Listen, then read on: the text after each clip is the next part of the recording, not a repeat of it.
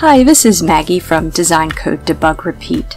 If you're a beginning programmer, a beginning game programmer, a programming teacher, or if you just find this content interesting, please consider subscribing to the channel.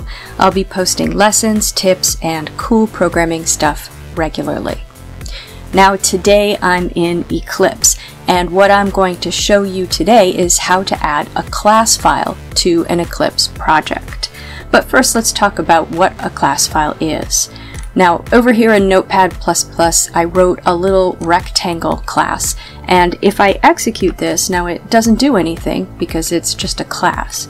But if I execute it, notice that in the folder where I had my Java file, I now have a class file. And if I try to look at that in a text editor, this is what I get. Right, so what is a class file? It is a compiled Java file. And you can use a class file in a program and we'll get all of the functionality, but you can't necessarily see it.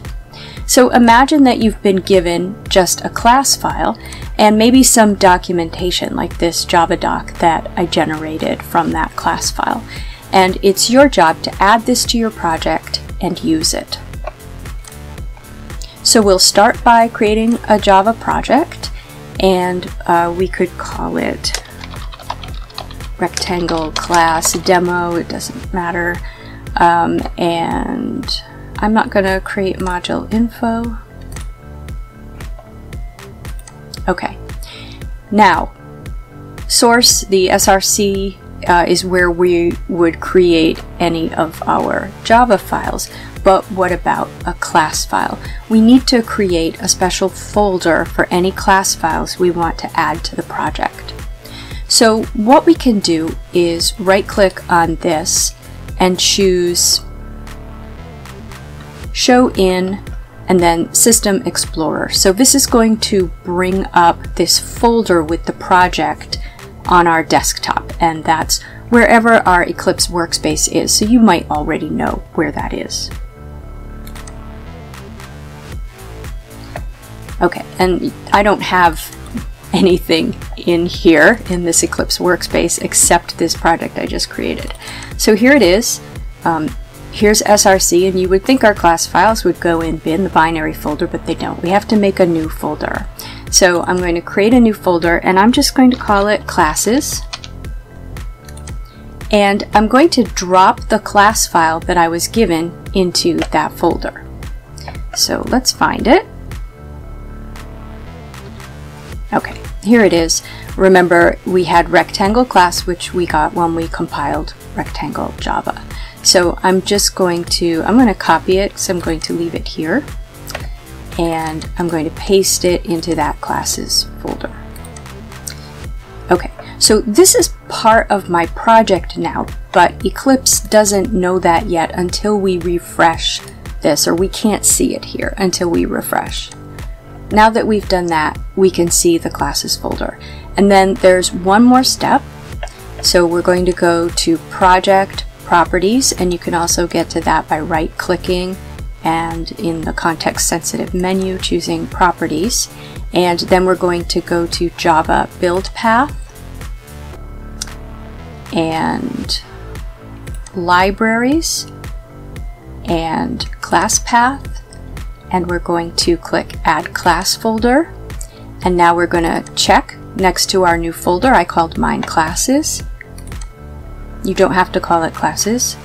Call it whatever you want and then I'm going to click apply and close. And um, now how do we know whether that worked? Well let's right click and create a new class which uses our rectangle class. Okay so let's call it um, rectangle test. Okay, and we'll give it um, a public static void main. And what we're going to do is create one of those rectangle objects in here. And if that works, then the class has been successfully added to our project.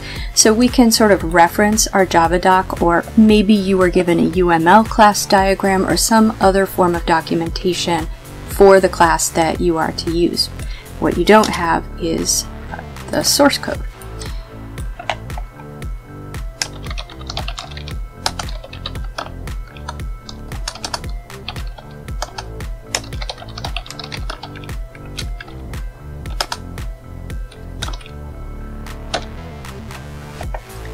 All right, and uh, we could also send a message to it if if we want to.